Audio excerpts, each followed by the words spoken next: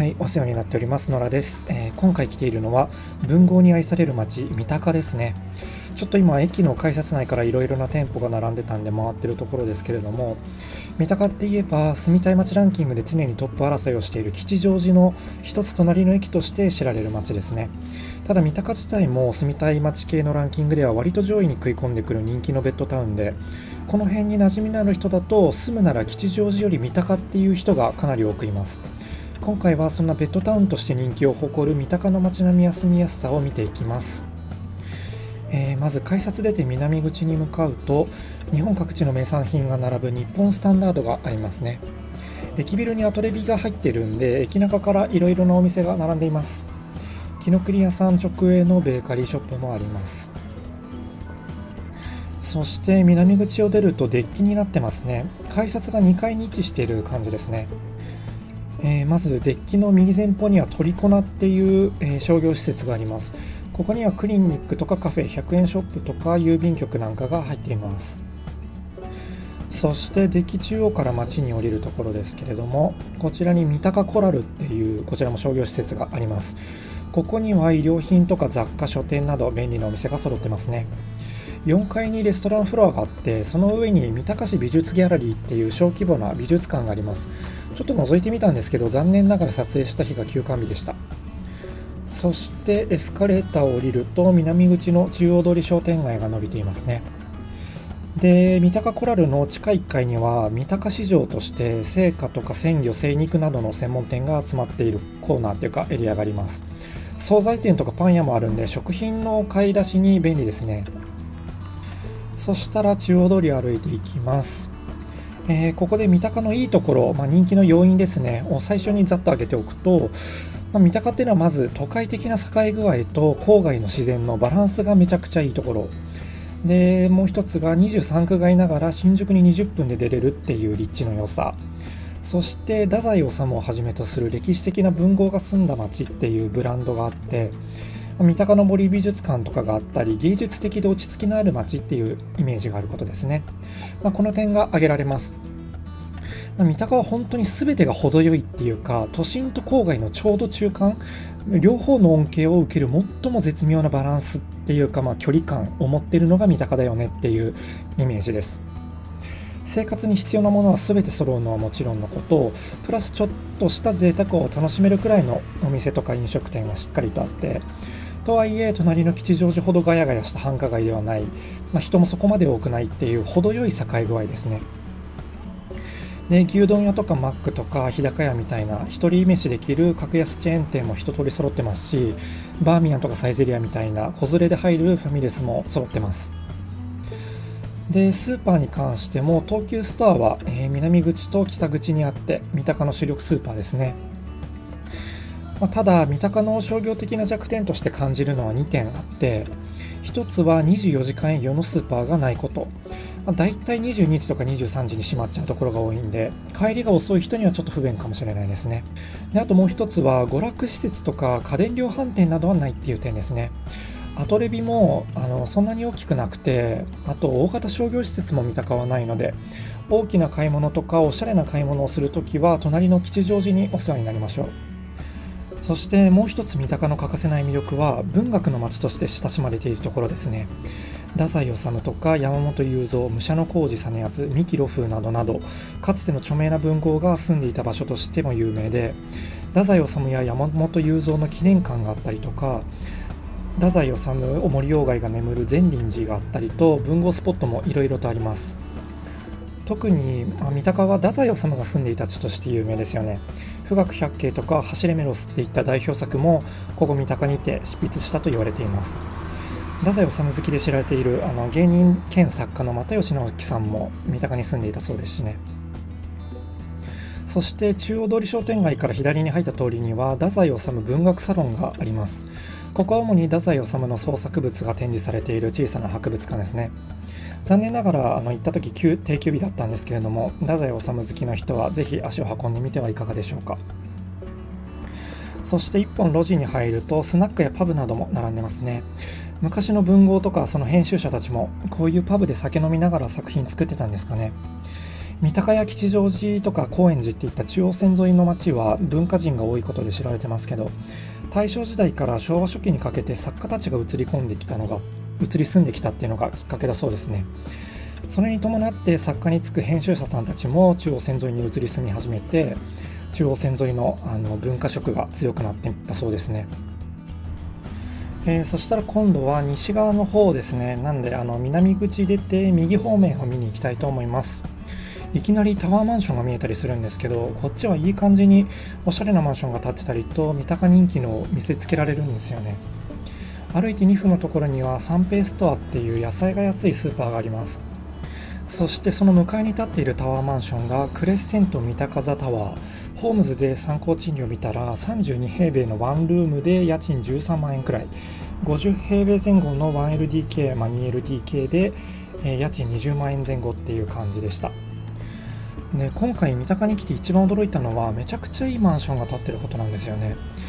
駅西側を通ってる三鷹通り沿いに出ると普通にグレード高そうなマンション並んでるんですよ。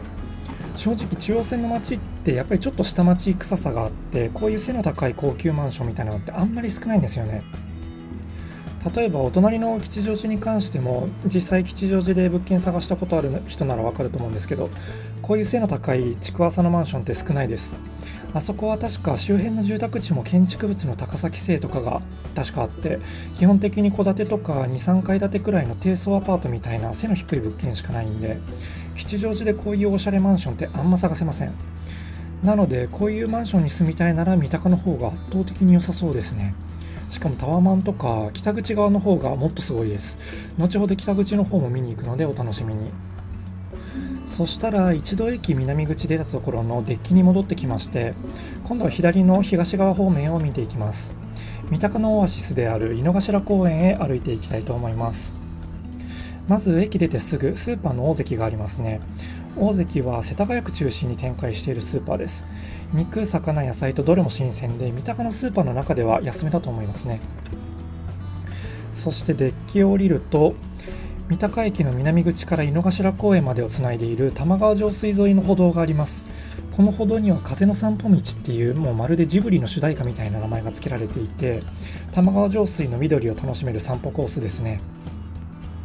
この玉川上水は太宰治が愛人と共に入水自殺したと言われている場所でもあります。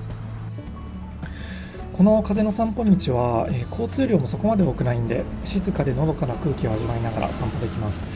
こういう落ち着いた雰囲気が三鷹の良さですね。そして風の散歩道の途中には大正から昭和にかけて活躍した作家である山本雄三がかつて暮らしていた洋館があります。ここは現在三鷹市の文化財に指定されていて山本雄三ゆかりの品とか資料が展示されている、えー、記念館として一般公開されています。ここも三鷹では外せない文豪スポットですね。そして風の散歩道を15分か20分くらい歩くと井の頭公園にたどり着きます。この公園内にジブリ美術館があるのでちょっと覗きに行きます。井の頭公園は総面積約43万平米っていう広大さで吉祥寺から三鷹の間に広がっているバカでかい公園です。どちらかっていうとまあ吉祥寺寄りで吉祥寺の駅からだと歩いて5分くらいで園内に入れますね。園内にはテニスコートとか 400m トラックっていった競技場があったりあとスワンボートで有名な巨大池とか動物園や文化園ジブリ美術館といった多数の施設があります。吉祥寺や三鷹が住みたい街ランキングに名を連ねるのもこの井の頭公園の存在がかなり大きいです。そしてこちらが三鷹の森ジブリ美術館ですね。ここは様々な企画展が行われたりとかアニメーション資料なんかの展示品が見れるほかここでしか見れないオリジナル短編アニメーションなんかも上映されたりします。グッズの売店とかカフェもあるんでゆったりとジブリの世界を楽しむことができます。ジブリ美術館は人気上が完全予約制かつ定員制を取ってるんで行きたい場合は事前にチケットの手配が必要です。ちなみに三鷹在住の人には市民枠っていうのがあるんでチケット取りやすいっていうメリットがありますね。その他井の頭公園については過去に出した吉祥寺の住みやすさ動画でもいろいろ話してるんで興味があればぜひ吉祥寺の方もご覧ください。概要欄にリンク貼っておきます。そしたら今度は三鷹の北口側へ行きます。北口は南と比べて広々としてるというか街並みが整然としていて綺麗な印象がありますね。なんか駅の外観も、えー、風情があるっていうかで駅を出てすぐ左には交番があって、えー、その隣に居酒屋とかカラオケがごちゃっとしたビルが建っていてその隣には松屋の本社があります。おなじみの松屋とか松の屋カフェテラスベルトなど松屋フーズが展開するお店が本社ビルに並んでますね。実は三鷹は松屋フーズだけじゃなくてガスとバーミヤンジョナサンなんかを展開しているファミレス最大手のスカイラークとかあと白木屋魚民のモンテローザも本社を構えていて外食大手の本社が集まる地でもあるんですよね。あのデカデカと白木屋と書かれたビルがモンテローザ本社。元はビジネスホテルだった建物らしいです。そして北口歩いてすぐ綺麗に整備されたタワーマンションゾーンがあります。麓のモールには格安スーパーの OK ストアが入ってますね。このモールには他にもクリニックとかフィットネスなどが入っています。そしてこちら三鷹のランドマークともいえるタワーマンションは武蔵野タワーズツインタワーになっていてこちらがスカイゲートタワーになります。数も見てみると 1LDK の部屋だと家賃の目安が17万から19万弱程度ですね。そしてもう一つ奥にあるのがスカイクロスタワーですね。このツインタワーは縦に並んでるんで駅から見て手前側のスカイゲートタワーの方が人気だとかなんとか。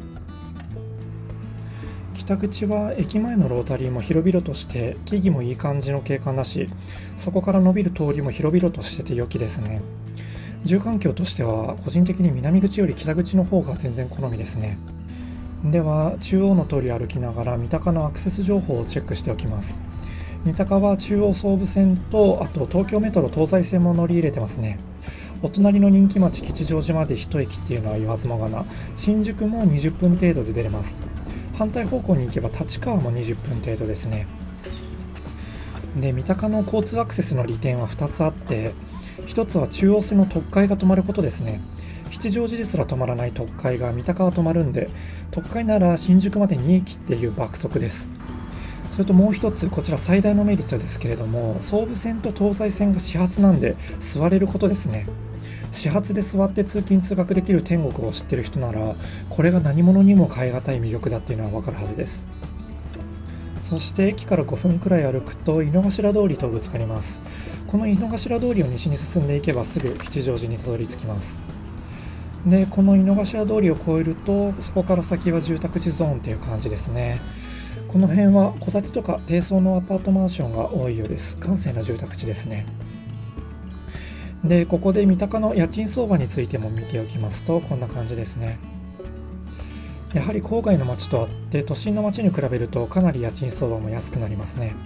1人暮らしなら6万から7万安ければ5万円台でも全然探せますしファミリーやカップル向けのマンションも増えてます。お隣の超絶人気町である吉祥寺よりも単身向けの部屋でも1万から2万弱くらい安くなるイメージなんで吉祥寺目当ての人でも三鷹に住むのはめっちゃおすすめですよね。吉祥寺まで自転車で行き来できる距離ですし、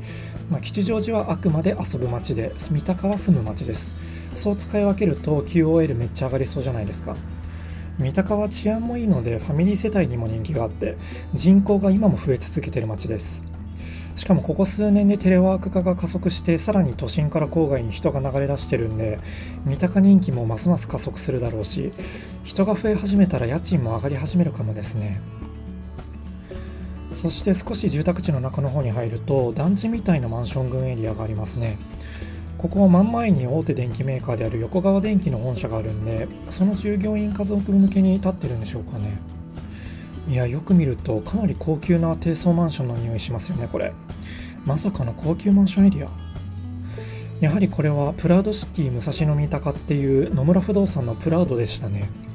中庭があって2棟並んでます。2018年築らしいんで外観もキラッキラですね。いやかっこええまあ、都心の高級マンションとかちょっと非現実的ですけど三鷹みたいな郊外の高級マンションなら頑張ればワンチャン俺だってって夢見ちゃうところが絶妙にそそられるんですよね。まあ無理なんですけど。はいという感じで今回は人気のベッドタウン三鷹を見てきました。なんかこれだけ便利で綺麗な街並みでこの家賃相場を見せられると今自分の住んでるところがバカらしく思えてきて鬱になりかけましたね。吉祥寺と井の頭公園を生活圏にできると QOL が爆上がりするっていうのは僕も経験済みなんですけど今回三鷹を肌で感じてみて吉祥寺県内に住むなら三鷹ベストだなって思い始めてます。ていうか吉祥寺が全然チャリ圏内ならそこはもはや吉祥寺と言っても過言ではないし吉祥寺より家賃安くて電車も空いてて始発駅ってなるとえこれもう実質住みたい街ランキング1位じゃない？え？という感じで今回は終わりたいと思います。もし動画をご覧の方で実際に三鷹に住んだ経験のある方はぜひ実際の住み心地などコメントしてもらえると嬉しいです。ではまた次の動画でお会いしたいと思います。ではでは。